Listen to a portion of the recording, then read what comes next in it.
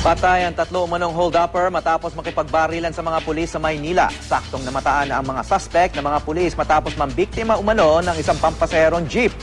May news to go si Mav Gonzalez.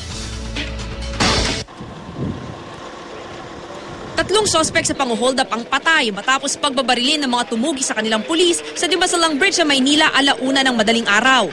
Kwento ng apat na biktima, nakasakay sila sa jeep nang magdeklara ng hold up ang tatlong sospek. Tinutukan ho kagad kami ng barel. Tapos sabi, hold up po, pera lang saka cellphone. Tapos nung pagdating ho dun sa may Tiago ho, sabi ho, o baba na kayo rito. kinuha na po yung ano cellphone ko tapos pinaano po yung pera ko kung meron nga po.